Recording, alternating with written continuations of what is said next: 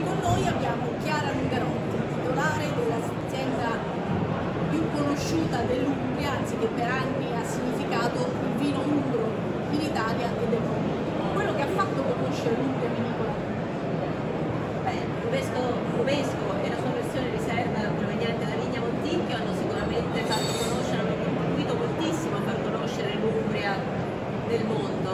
Ma l'Umbria è conosciuta non solo per i suoi grandi rossi, ma anche per i bianchi. E quei bianchi stanno uscendo fuori un po' di più, eh, diciamo, di recente in confronto, nel senso che quando si parla di Umbria si parla di con i suoi sangiovese o eventualmente della zona di Montefalco con il Sagrantino. Ma i bianchi sono in realtà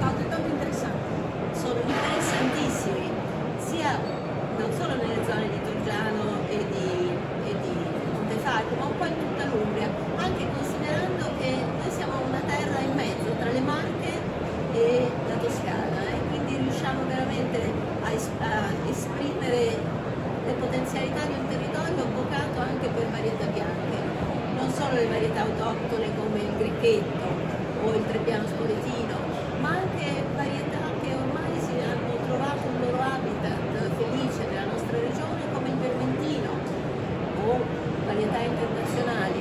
Ad esempio il nostro autore di Giano, che è il bianco di Torgiano, sia nella versione base che in quella riserva di uve provengono da un vigneto particolare che si chiama Vigna Alpino, dà veramente